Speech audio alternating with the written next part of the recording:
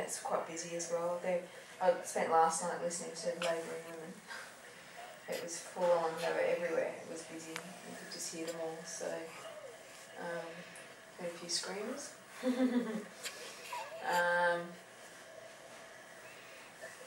oh yeah, oh yeah, I'm listening to them going, oh, that's interesting. Is that what it sounds like?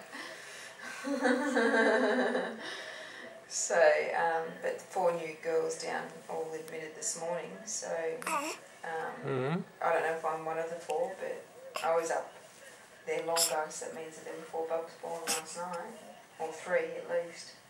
I think I might be one of the four. So, um, so it's busy down here as well. But it's good. I've got a nice, nice room. We can see outside. I've got the bathroom. Jason's found it in the kitchen. Um, and the midwife comes quickly when I buzz, so if I need anything, I can buzz, and she, they're really nice. Oh, what are you looking at? Um, supply What are you looking at? but She when, when I arrived this morning, she came in with a packet. Hello.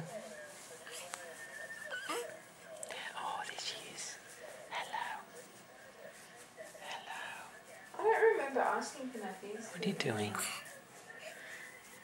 Good girl. Maybe I don't know. I'm a bit off, sort of. You know, I don't really know what's going on, so maybe I thought that I wouldn't get them once I was down here. So, but we have got a yeah whole new packet from because she hasn't had a nappy change today. She's still got her old one, so um, yeah, she's very popular. Everyone's just loving her dark hair and eyelashes.